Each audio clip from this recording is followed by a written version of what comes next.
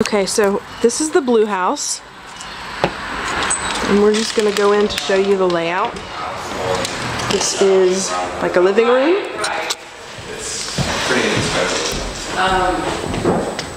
Here is a den. It's very long, it's got a vaulted ceiling. Here is the kitchen, which is nice and wide. And it probably looks a little bigger because there's no fridge or stove. Um, but I like all the cabinet space. Here's like the foyer, because this is the front, actual front of the house. So go down this hallway, and here is the first bedroom.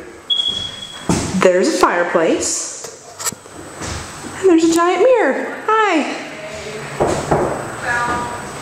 Go down the hallway again, and here we have another bedroom and a bathroom.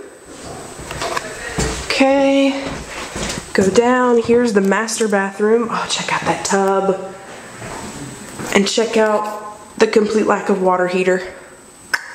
That sucks. Um, but here's the master, and here's where it starts to get weird. Here's the master, which is pretty awesome. And then there's this doorway that goes into this little room. And then there's this, what they call the sunroom, and there's no door going into the master bed bedroom. And also, this window you saw in the bathroom, yeah, it's looking into the sunroom. See? There's, there's the toilet in there, and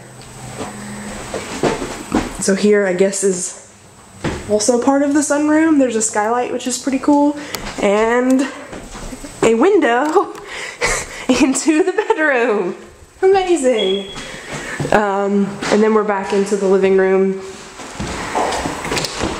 And here's our washer dryer, laundry room, more storage, and what used to be a garage but is now a workroom or possibly Club Oldenburg. Yeah. Okay, now I need to go talk to Jason about this water heater.